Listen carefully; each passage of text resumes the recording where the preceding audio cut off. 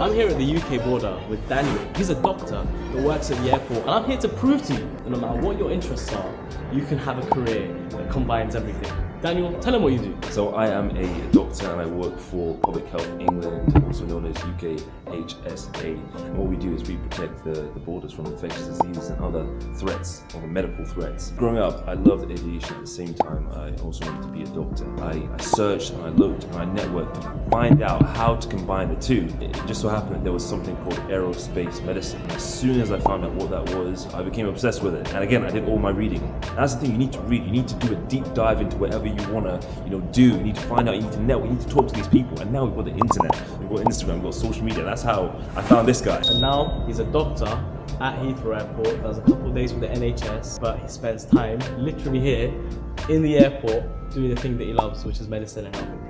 Combine your careers, combine your passions, and you can make whatever life career you want become a reality.